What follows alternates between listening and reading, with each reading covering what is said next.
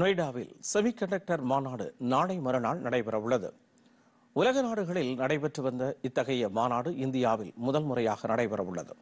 இந்த மாநாட்டில் கண்காட்சி மற்றும் வேலைவாய்ப்பு முகாமும் நடைபெறவுள்ளதால் தகுதி உள்ளவர்கள் பயன்படுத்திக் கொள்ள வேண்டும் எனவும் மத்திய மின்னணுவியல் மற்றும் தகவல் தொழில்நுட்பத்துறை செயலாளர் கிருஷ்ணன் தெரிவித்துள்ளார்.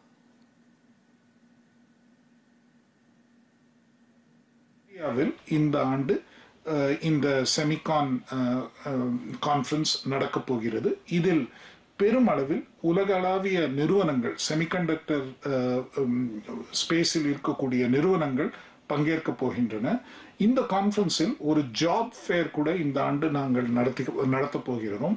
இந்த ஜாப் ஃபேர் மூலமாக பல இளைஞர்களுக்கு வேலைவாய்ப்பு கிடைக்க ஒரு நல்ல வாய்ப்பும் ஏற்படும். இதே போன்ற செமிகான் கான்ஃபரன்சஸ் இனி வரும் காலத்தில் இந்தியாவில் தொடர்ந்து நடைபெறும் என்றும்